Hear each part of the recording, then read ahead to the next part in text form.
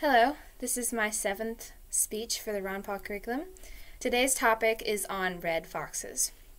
Red foxes are bright sunset orange, red, white, black, and intelligent, curious, and friendly animals. They are very interesting animals to learn about. Um, one of the most noticeable characteristics of red foxes is their fluffy white-tipped tails. They are the they are the largest of the true foxes and the most widely distributed of the members of the order Carnivora. They live between two and five years. They their their height varies between 14 to 20 inches, and their weight varies between 4.9 to 31 pounds. Red foxes and scientific name scientific name is Volupes volupes. Very interesting name. Um, they like to eat leop leopards, uh, leporids, raccoons, squirrels, hamsters, gerbils, gophers, possums, lemmings, and murids. I'm not sure if I said murids or leporids right. Um, even though foxes eat small animals, they also like to eat vegetables, fruits, frogs, and even worms.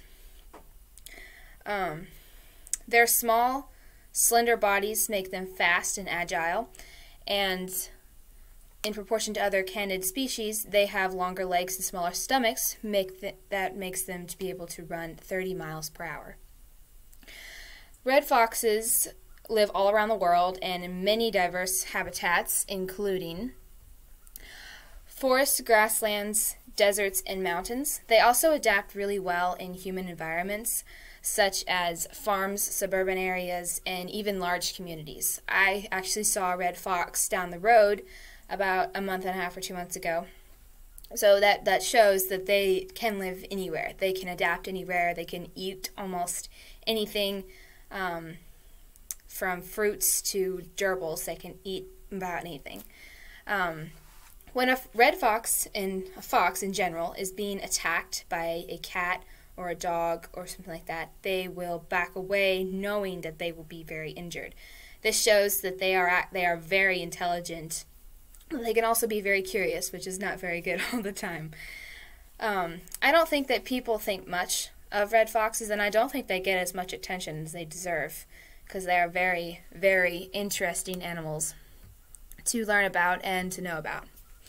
Um, a few cool facts that I found about red foxes is that they are all foxes are able to laugh, and I didn't know that, but um, they are. And the sound that they make translates to "oh wow."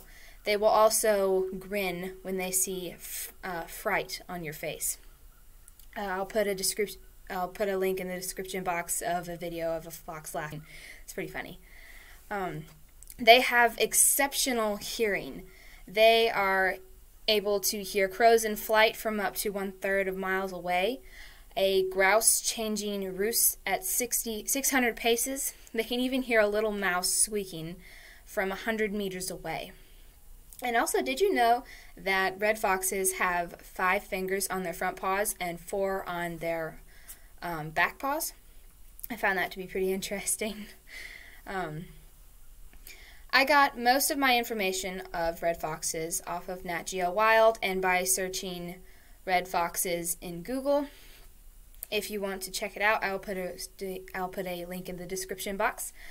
But red foxes are very very intelligent and they're very curious animals and I don't think that people really do give them as much attention as they deserve and they are very very unique animals, I will say.